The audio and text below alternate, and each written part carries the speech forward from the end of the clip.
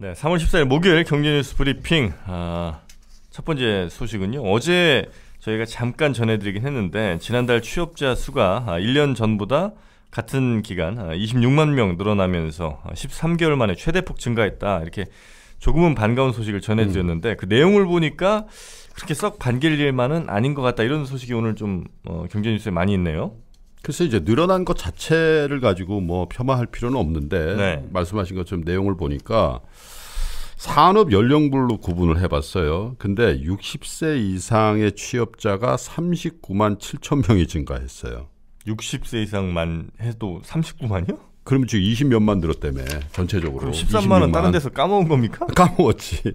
아. 3, 40대는 많이 빠졌다는 얘기죠. 그죠? 아, 이런 이런. 거기다가 이제 사회복지 서비스업에서 23만 7천 직종별로 보면 사회복지 서비스? 이게 저 재정으로 이제 일자리를 만들었다는 아, 얘기지. 그러니까 네네네. 이제 네, 네. 결론적으로 요약을 해 보면 네. 노령층의 복지성 일자리 있잖아요. 정부가 음. 공공근로라든지 이런 것들을 확대해서 네. 정부가 재정으로 만들어낸 일자리였다. 이렇게 아. 이제 평가를 하는 거예요. 오래 유지되긴 힘든 일자리겠네요. 아 근데 뭐 이런 상황을 두고도 네. 평가는 엇갈릴 수 있죠. 왜냐하면 그러면 정부가 가만히 있었어야 되냐. 음, 아, 기업체들이라든지 뭐 음. 뭐 이런 쪽으로 해서 일자리가 안 느는 걸 음. 방치하고 가만히 있었어야 되냐 이런 반론도 있는가 하면 또 반대쪽에서는 야 그 정도로 재정을 썼으면 뭔가 체질 개선을 해야지. 음. 재정에서 그냥 이 복지성으로 나눠주는 거하고 뭔 차이가 있냐 이렇게 또 비난을 해요. 네.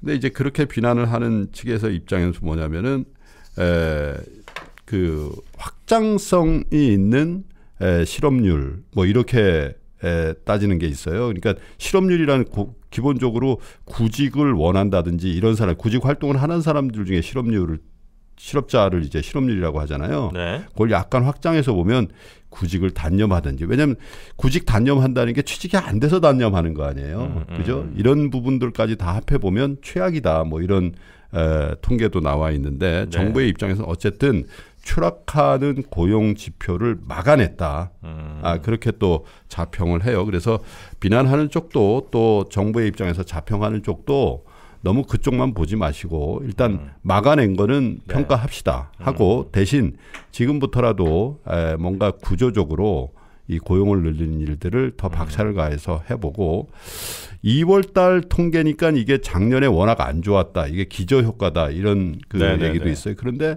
또 반대로 보면 1월 달에 우리 그이 고용 지표 굉장히 안 좋았잖아요. 네. 그때는 또 작년 1월이 되게 좋았어요. 그러니까 그것도 역기조 효과라고. 음. 그러니까 이제 한 해 정도를 비교하는 거 가지고 폄하하거나 과장할 필요는 없다. 음. 쭉 추세를 봐야 되는데 네. 아마 3월, 4월 지켜보면 정부의 노력이 어느 만큼 민간 부문의 고용까지 침투에 들어가는지를 우리가 확인할 수 있을 것 같습니다. 네, 뭐 양적으로는 좀 괜찮았던 것 같은데 질적으로는 약간 좀 부족했던 그렇죠. 게 아닌가 싶긴 네. 하고요.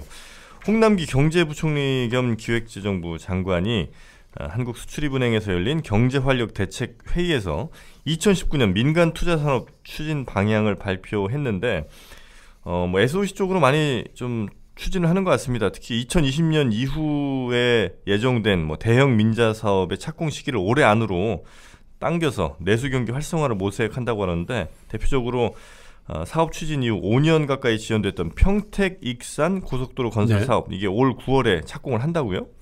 그러니까 이제 이 건설업이라는 게왜 네. 중요하냐면 고용 유발 효과. 그러니까 에, 예를 들면 건설업에 1조를 투입했을 때 고용과 네. 자동차, 조선 또 전기전자 IT, 뭐. 이게 완전히 다르다는 네. 거예요. 건설업이 탁월하게 좋아요. 즉각적인 음. 반응을 해요. 그래서 에, 지난번에도 논란이 돼서 예타 면제 같은 것들도 사실 장기적으로 보면 10년 동안 빨리빨리 해서 SOC 투자를 해서 네. 고용을 늘리겠다는 그런 보관인데 에, 이건 아마 예타 면제 이런 것들은 다 통과된 사업 중에도 지자체 단위에서 민자라든지 이런 부분에서 에, 착공이 지연되고 있는 산업, 사업이 있을 거 아니에요. 네네. 그거를 좀 빨리 속도를 내겠다라는 그런 얘기예요. 음. 근데 모르겠어요. 이게 속도가 지연되는 이유가 뭐 민원이라든지 뭐 이런 부분들도 있어서 정부가 속도를 낸다고 해서 갑작스럽게 될는지 모르겠는데 어쨌든 정부의 의지가 반영이 됐다는 거고 네. 또 하나 어제 발표한 것 중에 조금 제가 관심을 갖고 있는 건 이런 거예요. 홍보총리가 뭐라 그랬냐면 올해 혁신성장 분야 정책금융 규모가 53조 원으로 계속 늘어난다. 음. 혁신성장하는데 정부가 정책적으로 금융 지원하는 것들이 있는데 네.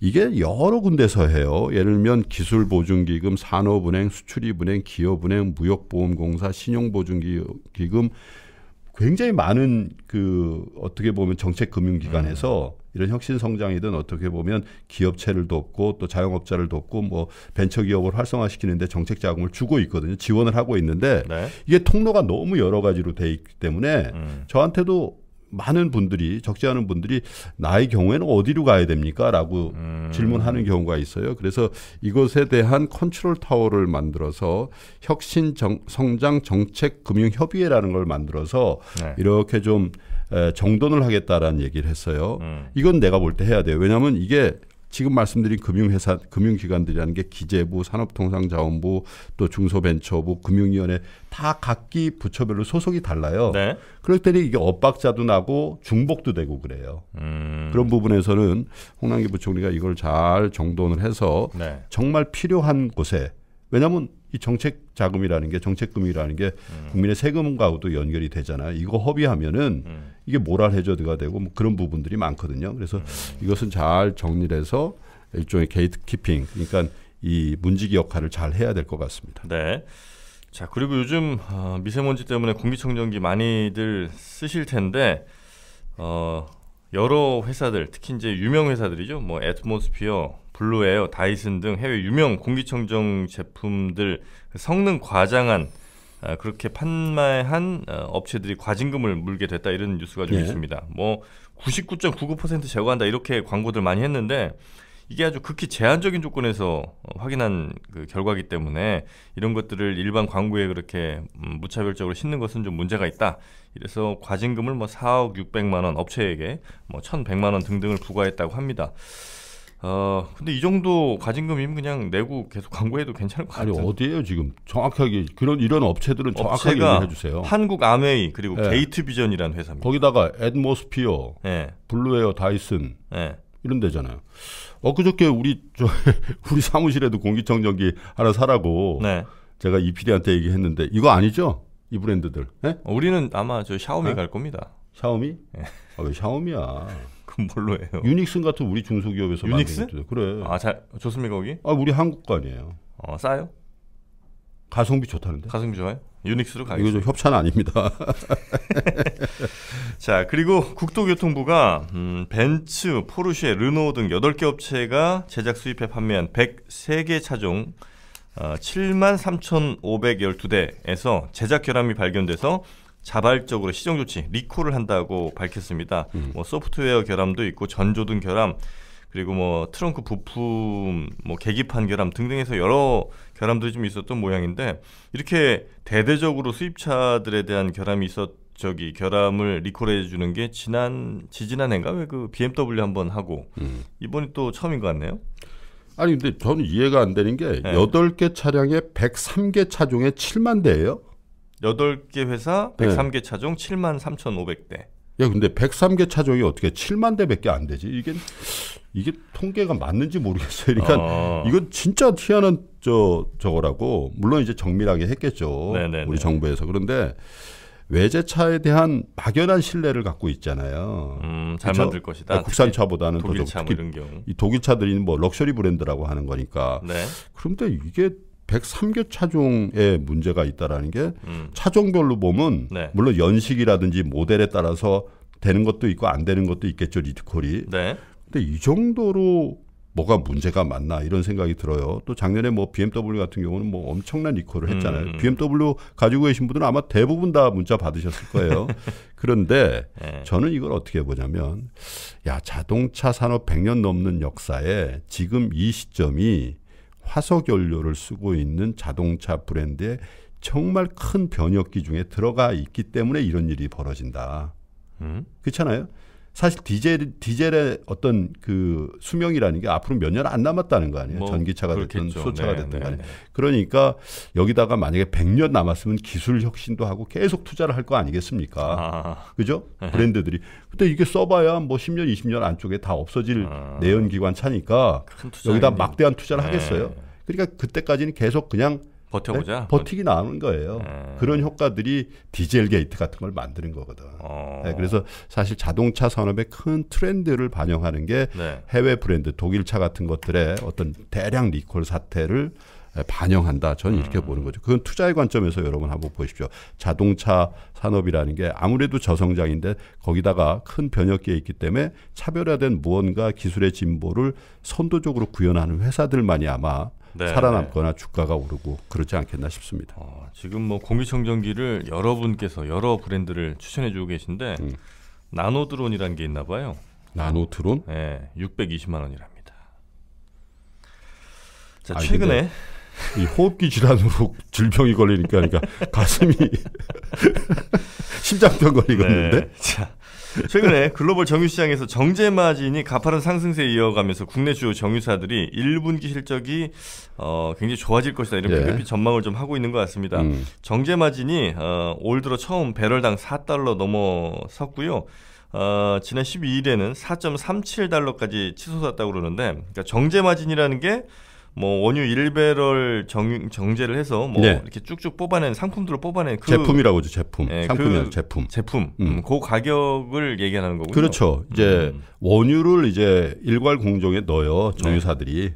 그 여천이라든지 울산에 가면 정유 회사들이 있잖아요. 네네. 그러면 사람도 없고 쭉 그 왜 불야성 같은 그 시설들 있잖아요. 네. 거기다 쭉 넣으면 일관적으로 쭉 나와요. 벙커시우도 나오고 뭐 휘발유도 나오고 이걸 제품이라 그러거든. 네네. 우리 그 청취자 여러분들은 좀 오해하시는 게 우리 원유를 해가지고 수입하면 다 우리나라에 쓰시는 걸로 생각하시잖아요. 네, 수출 아니에요. 많이 하죠. 수출 굉장히 많이 합니다. 음. 한때는 우리나라가 석유류 수출이 반도체보다 더 많았었어요. 음. 네. 그래서 굉장히 많이 수출하는 나라인데 네. 그럼 석유 한 방울 안 나는 우리나라가 왜 석유류를 이렇게 수출을 많이 하냐? 정제를 잘해서. 네, 실제로 그래요. 네. 고도화 설비라고 합니다. 네네. 네. 그래서 그거는 굉장히 초기에 우리나라가 대형화하고 고도화 설비를 선도적으로 많이 투자를 했기 때문에 음. 이른바 반도체로 얘기하면 수율이 좋아요.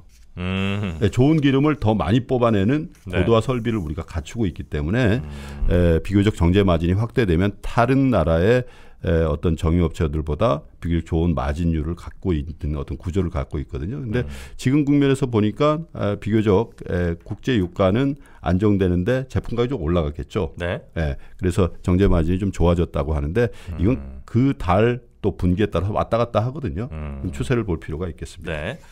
자 그리고 요즘 부동산 거래하실 때 앱들 많이 쓰시죠? 뭐 직방이니 다방이니 네모 등등 하여튼 굉장히 많은 앱들이 있는 것 같은데. 예.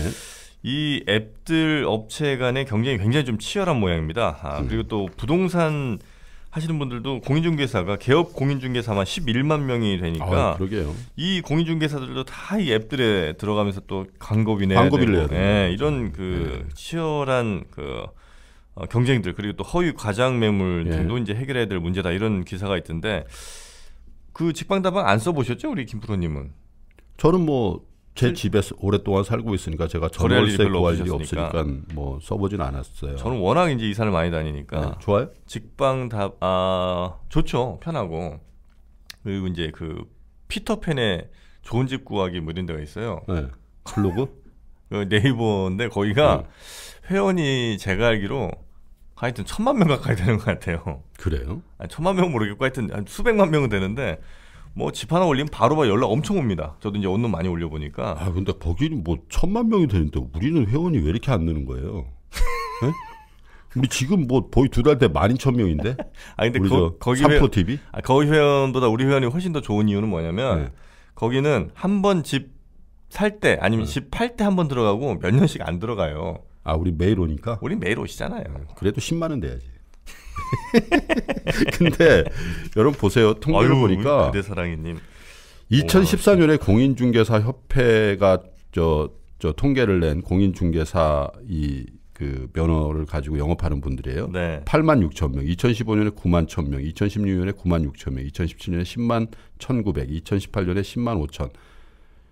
이렇게 많이 느는 거예요. 음. 그러니까 공인 중개사 자체가 너무 자체적으로 경쟁이 너무 치열한데 네. 그러니까 직방 다방 같은 데를 의존 안 할래야 안 할 수가 없죠. 네. 근데 또 직방 다방은 뭐라 그러냐면 여기는 이제 사실 스타트업이라든지 벤처 기업으로 처음 만든 음. 거 아니에요. 그러니까 여기에 강력한 라이벌인 네이버 같은 데도 있잖아요. 네네. 여기를 이기기 위해서 자기네들이 광고비 같은 걸 싸게 할 수밖에 없다. 네네. 그래서 그렇게 부담스럽지 않다.